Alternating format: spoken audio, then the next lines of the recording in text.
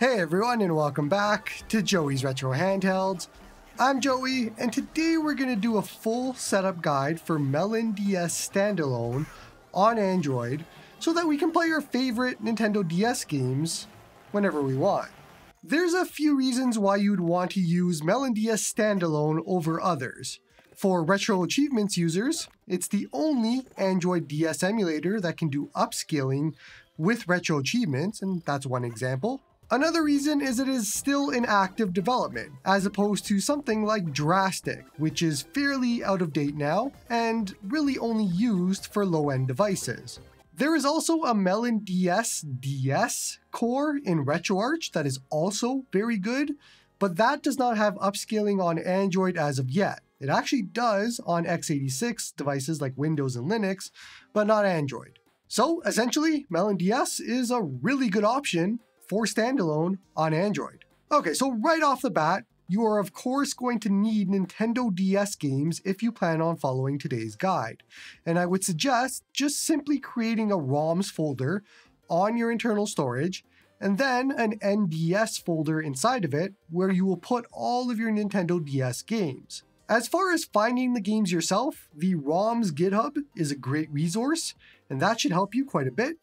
And then you'll also want decrypted Nintendo DS ROMs, and these can actually be zipped still. You don't have to unzip them. Quick reminder that all of today will all be done on the Android device. You don't need a PC or anything like that for anything from today. Okay, so let's go ahead and install Melon DS, and you have two options here. There is the Google Play Store version, as well as the GitHub version. Both are the exact same. So it just depends on whether you want to use Google Play or not. And most people likely opt for the Google Play Store version since it's easier to get updates and all that.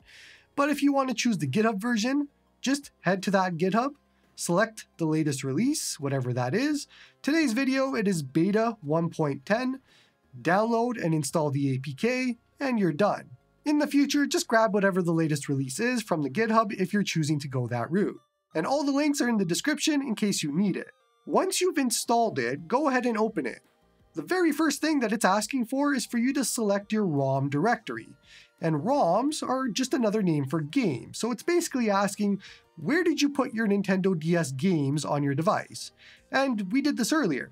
They would be on our internal storage, the ROMs folder, NDS folder, and so we'll select that you should now see all of your games start to populate in Melon DS. Let's go ahead and select the three dots top right to jump into settings. If we head into general, there is an option here to set the fast forward max speed. Maybe you have a very powerful device and it's just too fast at unlimited speed, so you can cap that here if you want something slower. Now, if you have a low-end device, this won't do anything for you, and it won't magically speed up your fast forward or anything like that. This is all for limiting your power, and you are limited by your power when it comes to fast forward speed. You can also enable rewind, and there's a disclaimer here where you need a pretty hefty device to use this. This one is your call. I actually never use this, I don't see a reason to, but you might be different. Head back and into Save Files. Now, by default, any of your saves and states will be located within your ROM folder. So with our current setup, all your saves and states will be right in your ROMs slash NDS folder that we created earlier. However, maybe you want to have your saves and states separate, somewhere else. So this part is optional, but what you can do is uncheck Save Next to ROM File, select Save File Directory, Create a Melon DS folder just on your internal storage if you want, or if you have an SD card connected, you can put it there. And then all of your saves and states will now save into that folder, and it'll be nice and organized. This is actually what I personally do, so feel free to throw this onto your SD card if you'd like, and that'll help you share it with multiple devices, or it'll make it easy if you want to do Syncthing across multiple devices. You can also change where your save states are stored if you don't want them with your saves and all of that, so you have that option as well. Back out now, and let's head into video. I would change renderer to OpenGL because that unlocks upscaling. And now you can see that we can change the internal resolution and upscale our game if our device can handle it. 8x native might be too hefty for a lot of devices out there, so don't just copy me, you might get some slowdown. Play around with this to see what works best for you. Upscaling is a major feature available to Melon DS, especially for Retro Achievements users, as no other emulator or core can do upscaling with Retro Achievements. So we are eating very well here. Feel free to enable the FPS counter here now if you'd like to see how your games are performing, or you can keep it off if you just want to go in blind. Back out and this time head to Input. If you have a controller or a handheld, turn off Show Soft Input to get rid of the on-screen touch controls.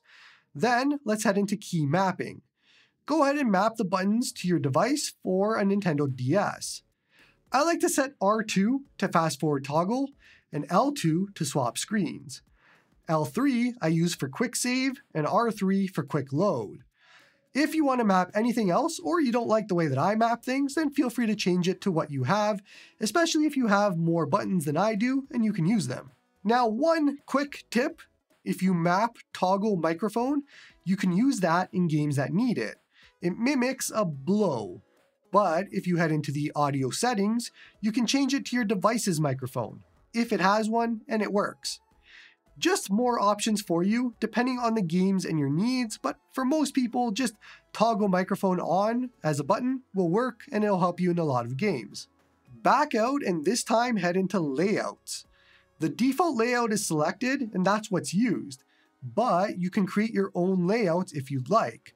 Choose the plus icon top right, and this will show you what the default looks like right now, but if you don't like things, you can just adjust them. If you hit the menu button, bottom right, you can revert changes, add your own background image, and all of that sort of thing. So you can really get in nitty gritty for customizing here.